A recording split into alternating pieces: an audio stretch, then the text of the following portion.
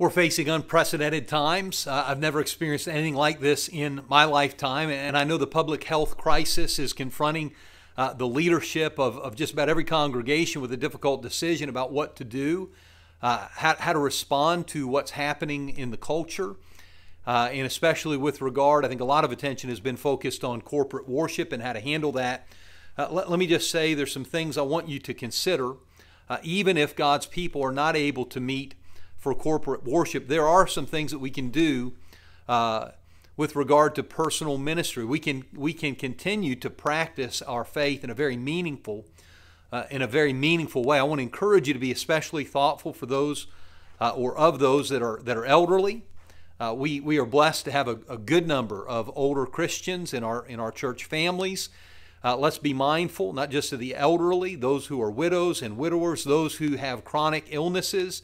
Uh, for many of these people that are at risk, uh, we need to be mindful not just with regard to uh, the decisions we make about corporate worship. Let's let's take the time to make sure uh, that these people that that cannot get out at this time, that we're reaching out to them, make sure that we can help them uh, with a variety of needs, their groceries, um, prescriptions that they might need. One of the things that has really encouraged me, the people that I've talked to the last couple days, uh, some of the older members of our church family, is to hear the glowing report they're doing well.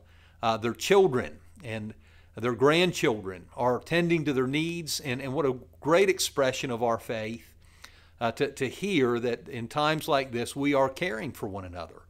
Uh, we are ministering to one another, and I want to continue to encourage that kind of behavior. I know uh, some of our members have been calling every day asking, what can we do uh, for members of our congregation that are elderly, uh, that, that are sick? How can we serve them? How can we meet their needs? Some of our teenagers ha- have volunteered to deliver food and groceries uh, to those who are shut in, uh, to those that, that, for obvious health reasons, should not expose themselves uh, to this deadly and dangerous virus uh, along with some of the personal ministry. I, I want to remind you there are ways that we can stay connected, even if, if you are unable to attend corporate worship.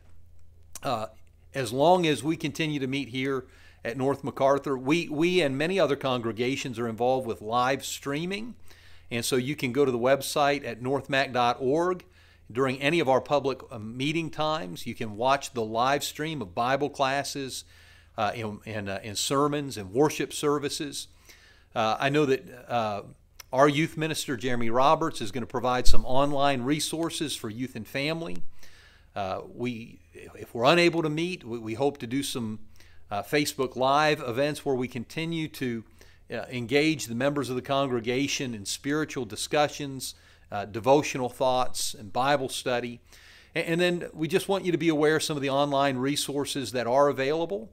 Uh, if you go to um, uh, www, it's uh, affirmingthefaithok.com, and go to the schedule of this year's Affirming the Faith. Click on any title, and you can listen to the audio uh, of some excellent lessons. All of them are focused on the Sermon on the Mount. In fact, uh, all of the lessons over the past 13 years of Affirming the Faith, the audio versions are available uh, at our Affirming the Faith website. You can go to YouTube and look for North MacArthur Church of Christ.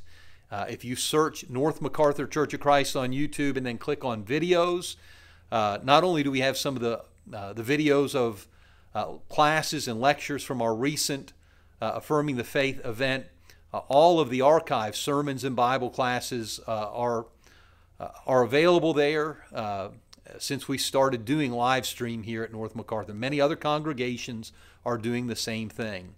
Uh, along with that, obviously, we're, we're doing Got a Minute in these one minute videos. You can go to youtube.com slash C slash Got a Minute with a question mark.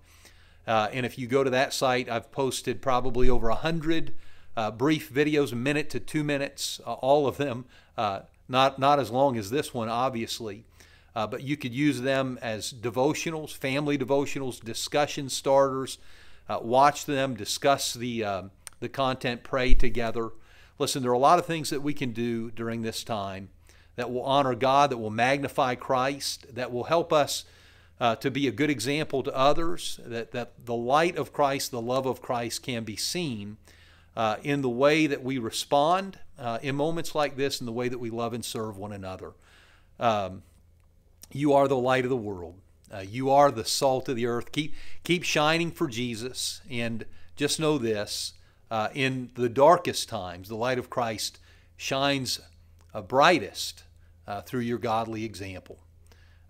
Just know that your church family loves you, that we're praying for you, and that uh, we're asking God to give us wisdom, and courage, and guidance in the, these difficult times.